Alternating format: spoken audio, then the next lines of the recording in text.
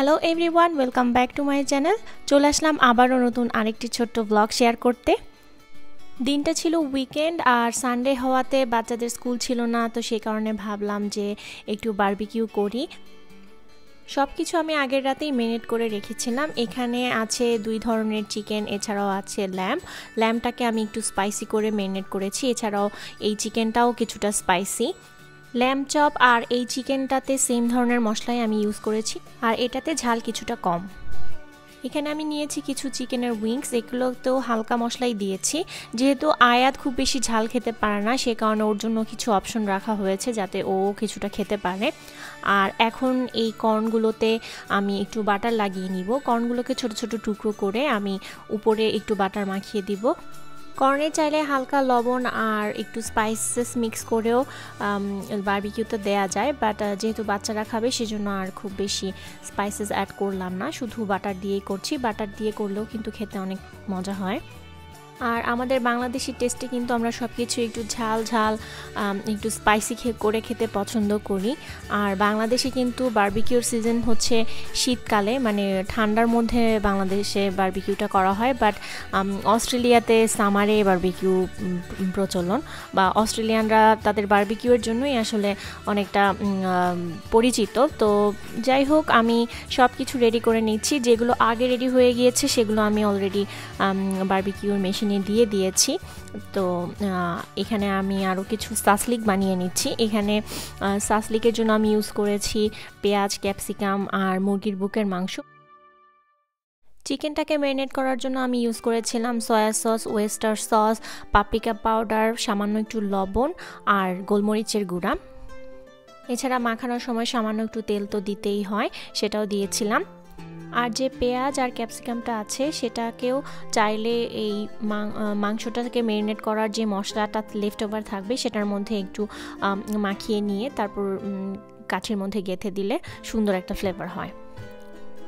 সাসলিকটা খেতে আমার বাচ্চারা খুব পছন্দ করে, আর এইভাবে সাসলিক করে বানিয়ে রাখলে কিন্তু পরদিন সকালবেলা বাচ্চাদেরকে স্কুলের লাঞ্চেও দেয়া যায়।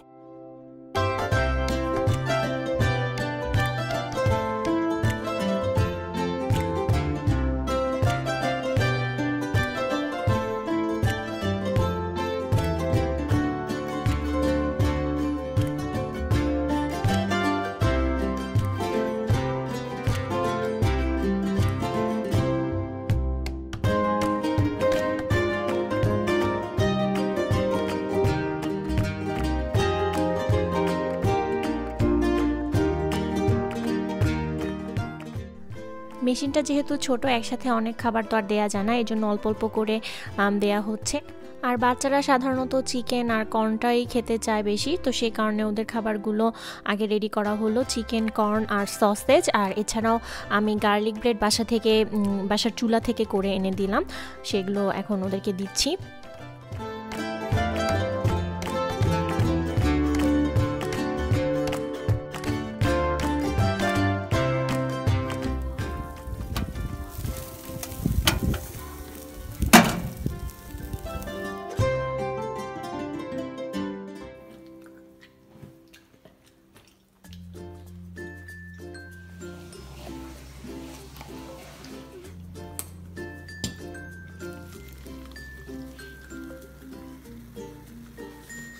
You get me my glass.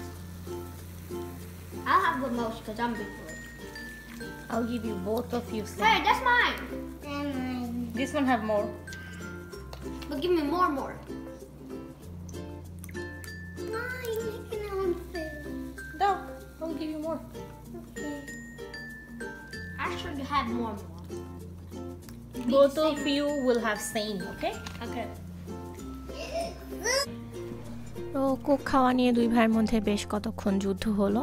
আর আয়াতের বার্বিকিউ নিয়ে যত এক্সাইটমেন্ট এটার মেন কারণই হচ্ছে যে সে কোক খেতে পারবে বা কোল্ড ড্রিঙ্কস খেতে পারবে। তো বাচ্চারা মোটামুটি চিকেন আর সসেজ বা সাসলিক এগুলো খেয়েই ওদের পেট ভরে গিয়েছে।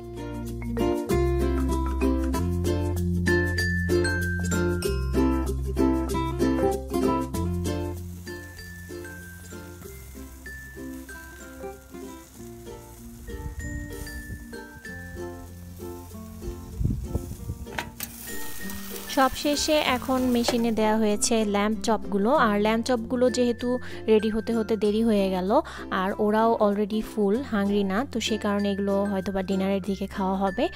আর কয়লার আগুনটা যতই মনে হয় যে নিভে গিয়েছে বাট স্টিল কিন্তু ওই হিটটা থেকে যায় এবং ওই হিটের মধ্যেই আর কি মাংসটা কুক হতে থাকে।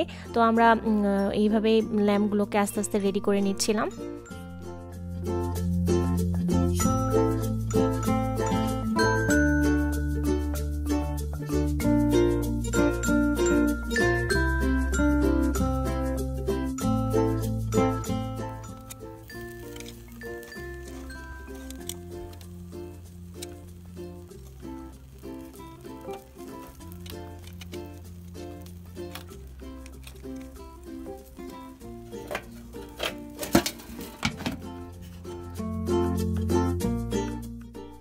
আর এই ছিল আমার আজকের ব্লগ আশা করছি আপনাদের কাছে ব্লগটি ভালো লেগেছে। যদি এনজয় করে থাকেন, তাহলে অবশ্যই একটা লাইক দিবেন এবং কমেন্ট করে জানাবেন। যদি আমার চ্যানেলে নতুন হয়ে থাকেন চ্যানেলটি অবশ্যই সাবস্ক্রাইব করবেন। আপনাদের সাথে নতুন কোনো ভিডিওতে আবারও আমার কথা হবে। সে পর্যন্ত সবাই ভালো থাকবেন। আল্লাহ হাফেজ।